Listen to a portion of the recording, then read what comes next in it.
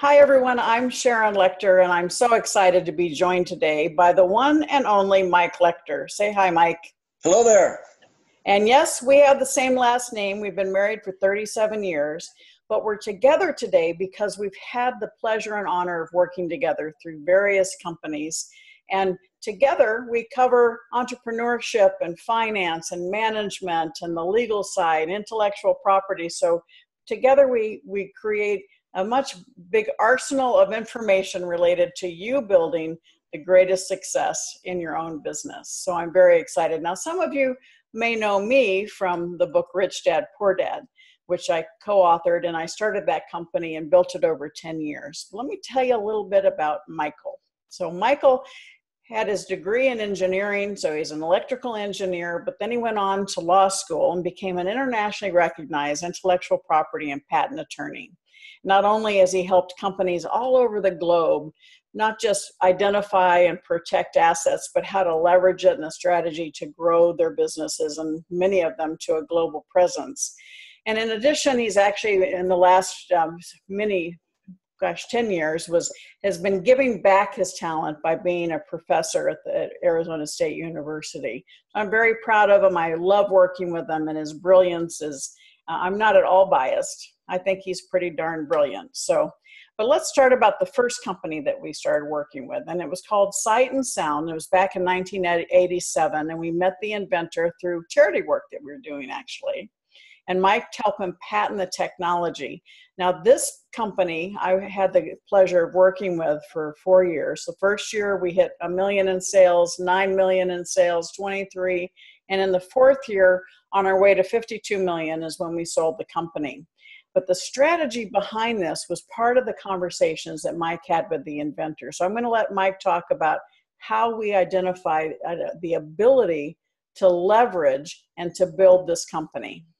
Well, in this case, we were using other people's reputation to help f- push forward the business plan for Sight and Sound. Now, Sight and Sound had a fantastic technology, but it was brand new people didn't understand it. And it was really kind of different than what people had seen before. Bookstores at that time were very quiet and sedate places. This was noisy. And we needed to, to do something to uh, get to develop the goodwill with the consumers. So we went to companies that had that goodwill. Disney, Marvel comic books, and we licensed their characters. So we were able to take advantage of their goodwill to sell our products. Now we had to pay them a license fee, a royalty, in order to use that. But the, the sales were so much more, the volume of sales, it made sense. So we leveraged their goodwill to sell our product. And we had a great success because it was people recognized the brand and wanted to have an additional Disney product or a Warner Brothers product. So it helped us really have exponential increase in our sales. But we were also writing really big royalty checks to these companies, big checks to Disney, Warner Brothers, Marvel Comics. And I said, you know, if we're going to do this again one day, I want to have it where we're the ones getting the big royalty checks and so, come to as it as it came to pass, um, we sold this company, as I said, and Mike and I moved to Arizona in 1991. And in 1992, our oldest son went off to college and got into credit card debt. I was pretty mad at him, but I was more mad at myself. So that was really when I dedicated the rest of my career to financial education and, and financial literacy and teaching not just young people and families, but business owners how to truly build their businesses so that they can create financial wealth and financial independence. So you fast forward a few years, and that's where I met my partner Robert Kiyosaki, and we wrote Rich Dad Poor Dad. And this started a 10 year process of building a global business related to the concepts of assets and liabilities and building financial well being. But this time, that strategy, we said we wanted to do it a little bit differently. So, Mike, why don't you talk about our strategy with Rich Dad? Well, in this case, the Rich Dad Company had the intellectual property. What it didn't have was the manufacturing capacity or the distribution capacity. So we went to other people that had that already. Now, we actually started out self publishing Rich Dad, but we got to the point where we didn't want to make the investment in building the, the, the printing facilities to meet the demand. So we went to a company that had those facilities and licensed the intellectual property to them, and they just paid us royalties. Now, it was all part of, of a global plan. Ultimately, there were products in, in what, uh, 100 and some countries? Over 100 countries and more than 50 languages. Now, the trick was, though, to make the products distinctive so that someone that saw one product knew that it came and that the other products came from the same place, from Rich Dad. In China, they referred to Rich Dad as the purple storm. It because everything, all of the products had that similar look. They were distinctive, and we were able to develop the goodwill that were that went to all of the different products. And we did this from the beginning, Mike, because remember when we first started off, the publishers were telling us your book should be green, red, or black because that's what business books are. And we said, no, that's why we want it to be purple. We wanted it to be distinctive. We wanted to set apart from everybody else. And of course, today, when you go into bookstores, those few bookstores that are still here, you see a lot of purple in the business section because of the success of Rich Dad but that was all by design. So as you're building your company, you want to be strategically thinking about your brand and how you can be distinctive. And today's webinar, what we're going to di- dive into in a minute, is exactly that competitive advantage. How do people think of you? Your competitive advantage in your business. And so, as we talk about this, when I left the Rich Dad organization in 2007, I had the opportunity to be sought out after, both Mike and I, because we had the reputation. The Napoleon Hill Foundation, which, of course, you know, Think and Grow Rich and Napoleon Hill, during that time in 07 and 08, we had certainly uh, the economy crashed. And so the idea of reinvigorating the teachings of Napoleon Hill now they didn't have that same distinctive look and feel and coloration that that that we had built in our companies, but we did bring the idea, and Michael talked to them about creating a brand of books so that they could trademark the Think and Grow Rich trademark as it related to a series of books which gave them stronger intellectual property that would last further into the future. And these books on the screen are the first three books that I did with the Napoleon Hill Foundation. Again, reinvigorating the teachings of Napoleon Hill. But the issue is not all shoes fit the same. And so, what Mike and I did was we created a program that highlights the various elements, what we call the essential components of a successful business. And as you can see on your screen, the three outside components are what keep you focused and keep you moving. The mission at the top. Every successful business does one of two things solves a problem or serves a need. And that's what keeps you getting up in the morning. Everything you're doing is trying to solve that problem or serve that need. And you've got the team, the people around you. As I said, business is a team sport. Mike and I work together because we where he's weak, I'm strong. Where I'm weak, he's strong. And so you want to have your team of people that can support you where you want to go. And it's your employees, your customers, your advisors, all of those keep you focused. And of course, your own personal leadership ability to continue managing and recognizing when you need more new members of the team, how to move forward. And those three things are what keep you focused on accomplishing your mission. How everything else builds together to keep you focused on moving in the right direction and staying on track. But then you also have to have the elements within the business, just like a house has to have plumbing, has to have a uh, foundation. All of these elements inside are equally important.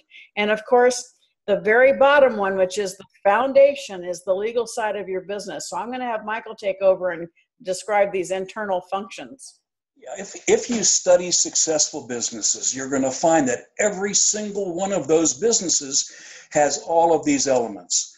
They've got a good foundation, a good legal foundation to, on which to build the business. They've got, they chose the right type of entity. They have the right contracts in place. They protected their intellectual property. They have uh, resources available to help them implement their business plan. Sometimes that's capital. Sometimes that's resources like uh, a manufacturing capacity or distribution channels. They almost always will have uh, stellar communications and marketing to build relationships with their customers, with their vendors, with their employees, and with their investors.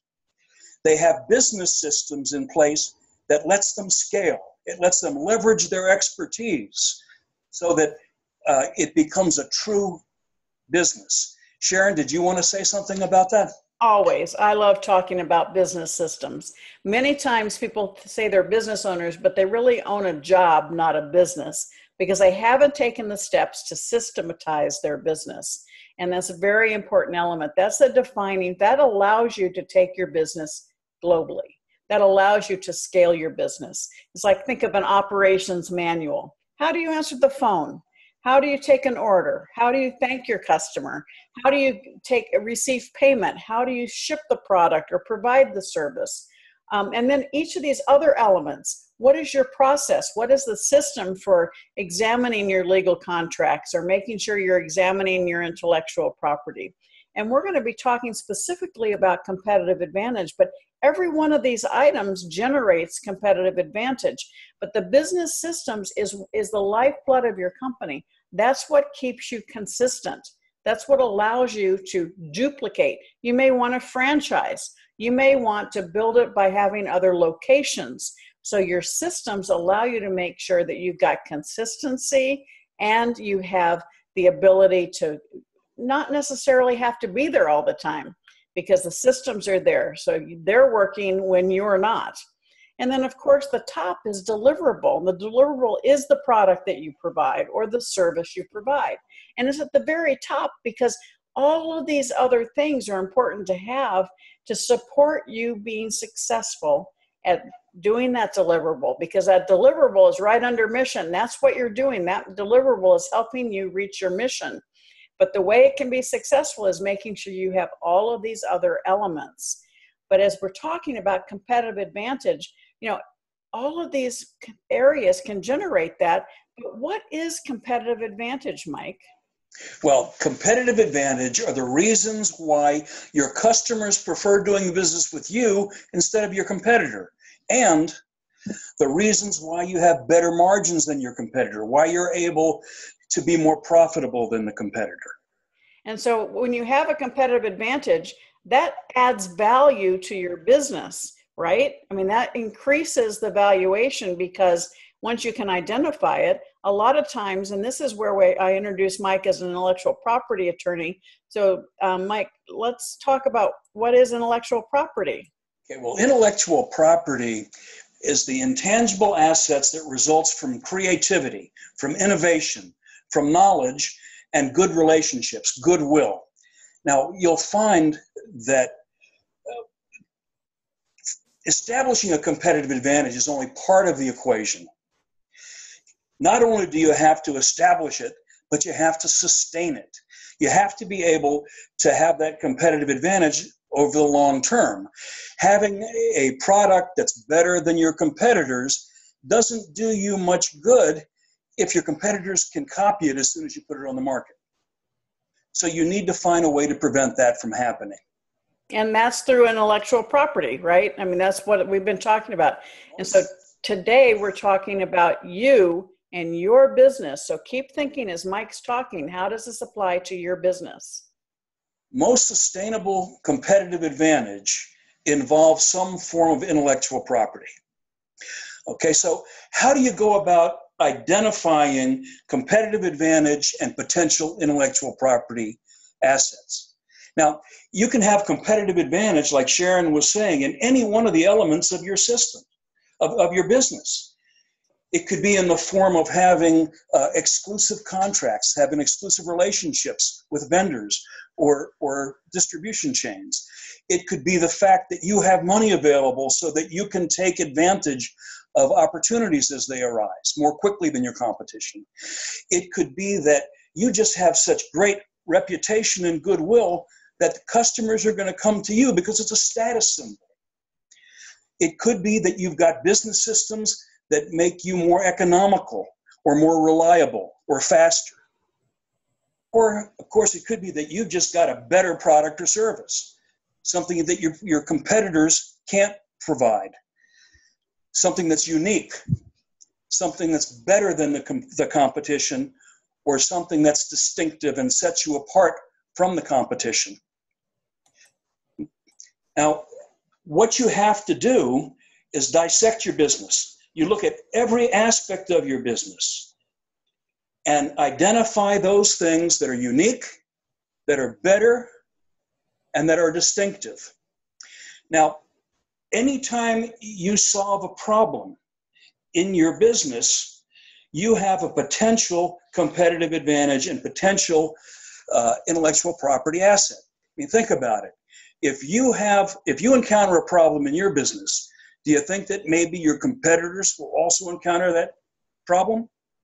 Yeah they may. And if you come up with the best solution to that problem and you can get exclusive rights to that you have a huge competitive advantage now the trick is to drill down to the essence that gives you that competitive advantage what is it that makes your product or your business unique? What makes it better? What makes it different? And you want to identify precisely what it is that gives you that advantage. So you may have something that's better than the competition. Well, why is it better? Let's say that, that it's, you have a product that can provide a result more quickly what aspect of that product lets it provide, makes it provide the result more quickly. You identify that and get exclusive rights to it. That's how you sustain your competitive advantage. Now, typically, it's going to involve some form of intellectual property. So you're going to want to, to protect it. And when I say protect it, I mean establish exclusive rights to that essential element. You want to establish exclusive rights so that you can use it, but nobody else can. Now, once you've got those exclusive rights, that's when you can leverage the your, your competitive advantage. So I want to jump in here for a second, Mike, because this is so so important.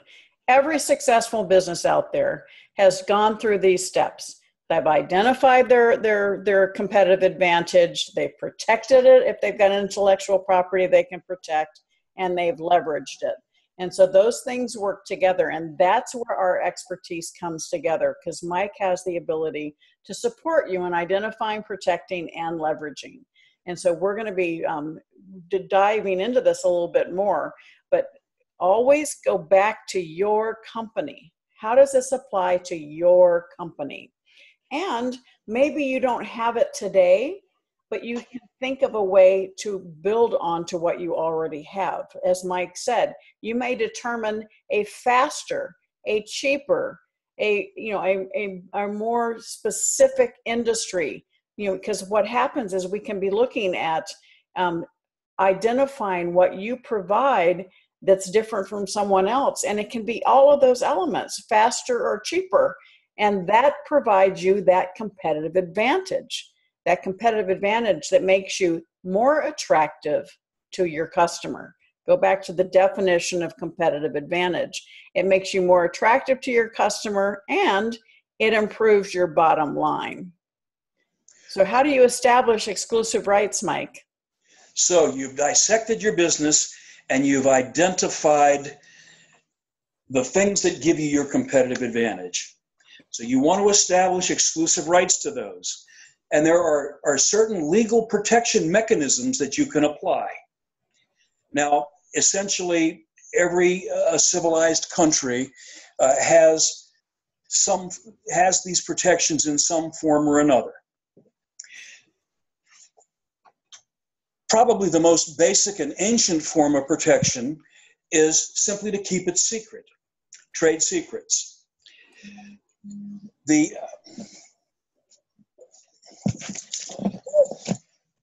you can you can protect trade secrets simply as a practical matter by preventing your competition from getting access to the information. But there are circumstances where you're going to have to let people know. Maybe you're having someone build a product for you, or maybe the trade secret is the intellectual property that you're licensing to someone. You can still create an, a, an obligation of confidentiality using contracts. There, there are utility patents to protect invention. There are design registrations to pr- protect um, industrial designs. Trademarks protect your reputation and goodwill. Copyrights protect works of authorship. And mask work protection is available to protect the, the layout of, of uh, semiconductor chips. Now, the trick is to put together a strategy that uses all of these protection mechanisms to their best advantage to make sure that you have the ultimate protection for whatever it is that's giving you your competitive advantage. So let me jump in here because as an example, Mike, and we, we haven't discussed this before we did the webinar, but um, you know, globally, universally, Coca-Cola is in a red can and it has one of the most famous trade secret formulations. And so there's contracts related to that. And they, you know, so all of these issues work together. And so when we were building the the Rich Dad brand, we were looking at um, you know through our contracts building confidentiality related to what we were doing but also we were combining trademarks and copyrights and patents as it related to the game and looking at how they could be built together to make an even stronger um, protection mechanism to conti- continually keep us above our competition and become the go to source. So, we want you to become the go to source for what you provide. And so, having that arsenal of protection, again, having the right people helping you identify things that you can be doing to protect your company and to build that value into your company only speeds your way to success and creates that ability to, to really step into more of a global platform, right? Yes, ma'am. Okay, so once you've established the exclusive rights, you really want to make money from them. Okay? So you can use that exclusive rights to sustain your competitive advantage, to prevent your competitors from doing what you're doing. But you can also create additional income streams through licensing. You can identify areas, uh, companies out there that are not your competitors, but might be able to use your intellectual property. You can license them to use the intellectual property without affecting your core business. That's pure money. And that's what we did at Rich Dad. You saw that that slide that had all those different products. So we ended up licensing. We had at any given time, we had over 5,000 people around the world working for us, but we only had 15 people on our employee because uh, on our employee role because we had licensing agreements with companies all over the globe who wanted to take our intellectual property and share it with their tribe. And so that licensing allowed us to expand more quickly and keep a minimum of management on our i just had to deal with the ceo of that company as opposed to all those individual employees so it made my life easier and allowed us also speed to market today is a big issue so licensing with someone who's already established in that market allows you to have greater and quicker speed to market right mike look at, at it this way if you've reached your capacity and you want to grow, you've got a choice. You can uh, develop the capital to invest in expanding your resources, putting in a new plant, expanding your manufacturing capability, or you find someone else that can that has those already and you license them to to use your intellectual property. You take advantage of their existing resources. And a lot of times, Mike, people say you have to have money to make money. And one of the things that's really important, you know, Mike wrote the book Other People's Money, OPM, and it's about understanding how you can use other people's resources, other people's people, other people's time to be able to build your business. So not only is it quicker to market, but you don't have to come up as, as much cash up front. And so in today's world, it's it, licensing is really something you should be looking at, but making sure I'm going to put a plug in for Mike. You've got to have the right legal counsel. You have to make sure you have the right contracts to protect yourself, to make sure you've got quality control provisions, all of those things. But again, in lieu of raising the cash, find that joint venture or that licensing partner that has their resources, their time, their people who will put their energy and their resources into helping you grow your business. Now, all of these things we've just talked about in this webinar, you know, we've just hit the surface. So we want to join and invite you to join us because we're excited. We're coming to India on September 9th and 10th. We're coming to the 10x Wealth and Wealth and Business Conference, and we're going to be each of us talking separately and some together to continue going deeper into all of these aspects of the essential components of a successful business because we want to give you the greatest opportunity to learn from us. We've made a few mistakes along the way. We've had a few big wins. And so we're there to share you so you can learn from our mistakes so you won't make them but share the things that we did right so that you can benefit benefit from those things and employ them in your own business mike you want to say something about our talk in, in september i would i look forward to seeing everybody on september 9th and 10th at 10x wealth and bizcom because we are we're on our way we're going to be there and we invite you to come because we want the opportunity to meet you eye to eye and hear more about your business. So please come up to us and tell us that you've seen this webinar and that you want to hear more from us because we're looking forward to it.